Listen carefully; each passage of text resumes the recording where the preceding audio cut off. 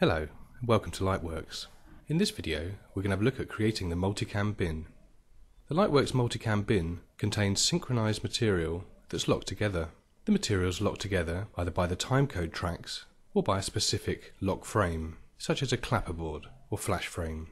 Let's go ahead and sync up some material.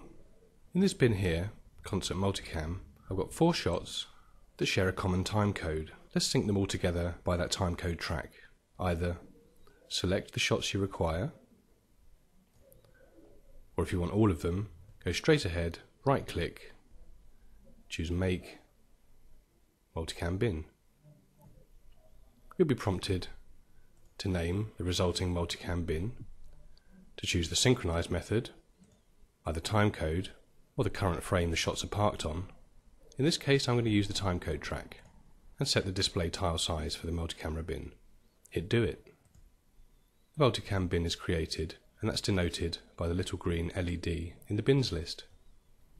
These shots are now slaved together. And we're ready to edit.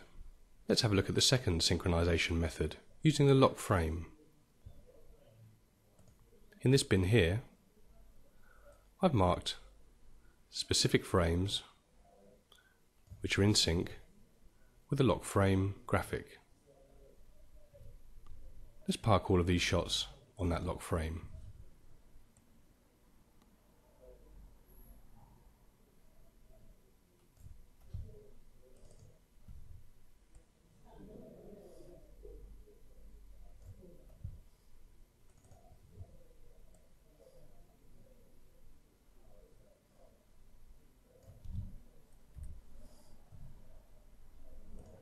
Now intentionally, on this shot here, I've missed out the correct frame. We'll correct that once we make the multi-camera bin. Right click in the bin, we use the bin settings menu, choose make multi-camera bin. This time we'll choose the method by the current frame. Hit do it. Once again, these shots are now slaved together.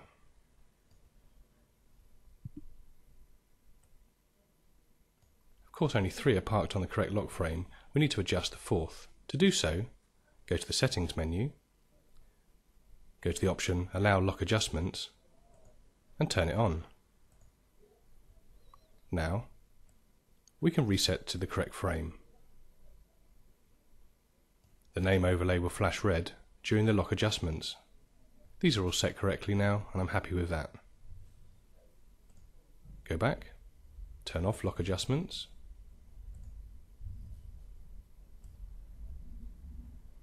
and everything's in order, ready for editing.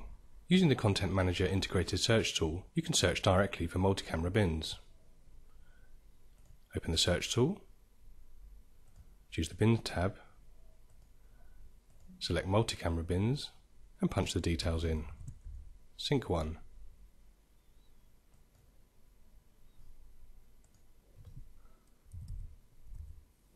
Or Sync 2.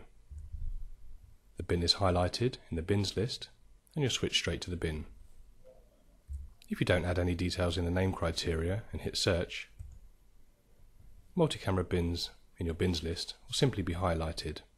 If you'd like to open your material into larger viewers while you're editing, you can do so simply by right-clicking and choosing Display the Viewers. By default, Lightworks will display the viewers across the top of the screen.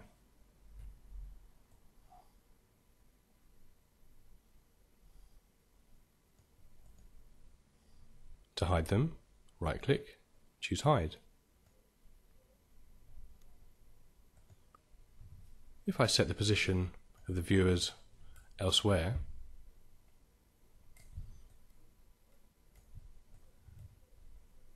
this position will be remembered next time I return to the multi-camera bin. Go to another bin, and then back.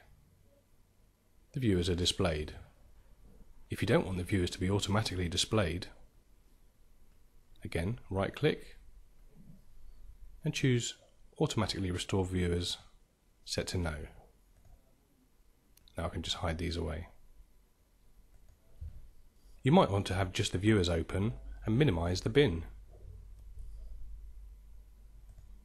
Display the viewers and go to the bottom right of the multi-camera bin and select compact mode. The bin's collapsed, but the viewers remain. To exit compact mode, just uncheck compact.